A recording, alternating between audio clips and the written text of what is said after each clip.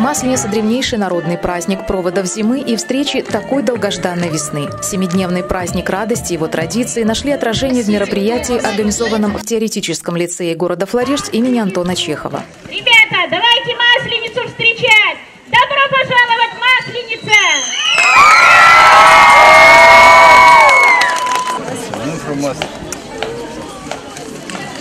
Масленица примечательна широкими гуляниями. Это танцы, пение, катание на санях, потешные бои и игры.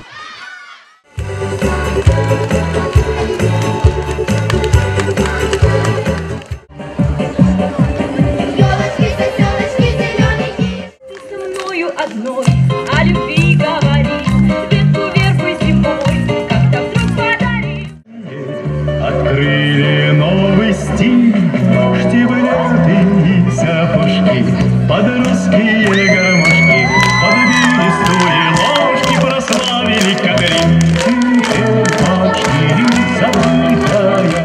Основным угощением и символом масленицы являются блины. Традиция печь блины была на Руси еще со времен поклонения языческим богам, ведь именно бога солнца Ярила призывали прогнать зиму, а круглый румяный блин так похож на летнее солнце.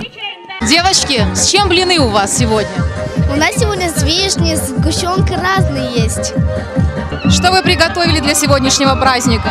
Сегодня мы приготовили блинчики, торт, э, всякие эти вафли приготовили. Все как бы свое Все своими руками приготовлено? руками, да.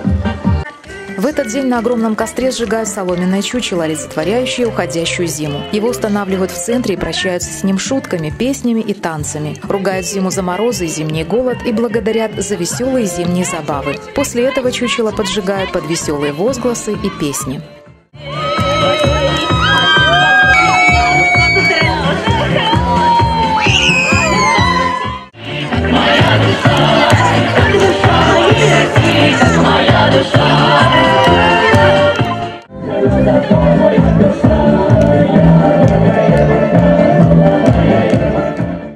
Масленица – это подготовительная неделя к Великому посту, посвящена в христианском смысле одной цели – примирению с ближними и прощению обид.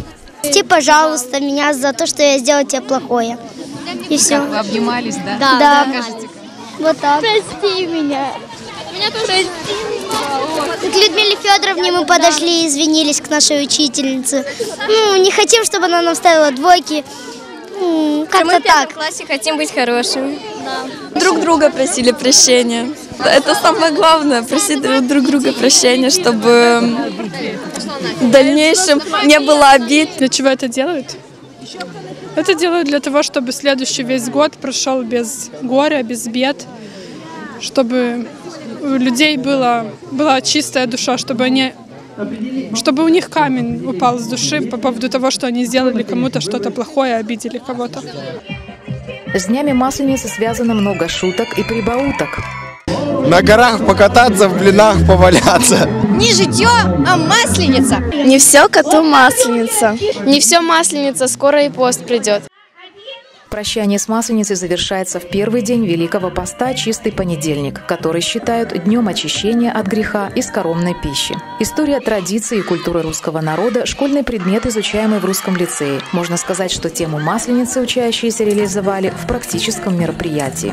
Очень трудно нам преподавать историю, культуру и традиции русского народа, так как нет учебников, нет никакой наглядности. Но мы стараемся энтузиазмом своих учителей, своих родителей, своих учеников путем вот таких вот фольклорных праздников познакомить и э, наших родителей, и наших учеников с традициями, с праздниками, с щедротой э, или щедростью русской души.